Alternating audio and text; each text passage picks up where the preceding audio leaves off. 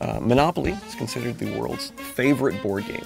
And in a celebration of its 75th anniversary, we're taking a, a new look at Monopoly and trying to reimagine it.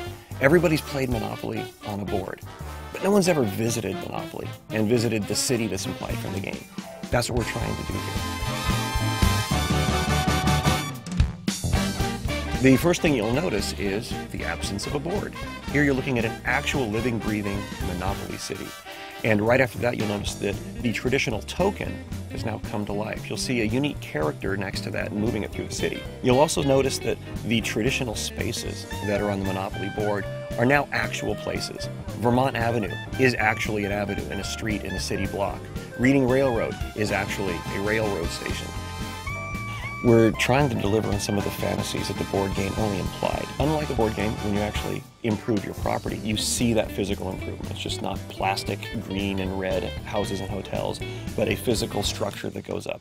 You improve from your nice little park to nice set of houses to an actual opulent hotel. You'll actually see the players' corporate headquarters grow and shrink or rise and fall along with their net worth.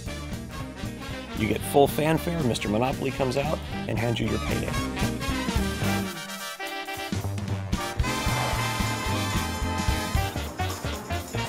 Another great element of this reimagined Monopoly experience is the ability to personalize it.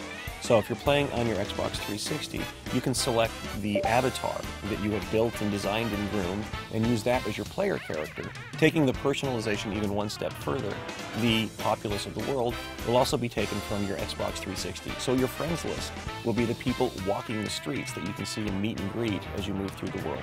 One other thing that we're really excited about with this version of Monopoly is the ability for the first time ever to play online multiplayer matches. Since we know that every household plays Monopoly slightly differently, you can customize the experience based on however you like to play.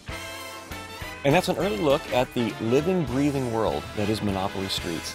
And there's still lots more to come.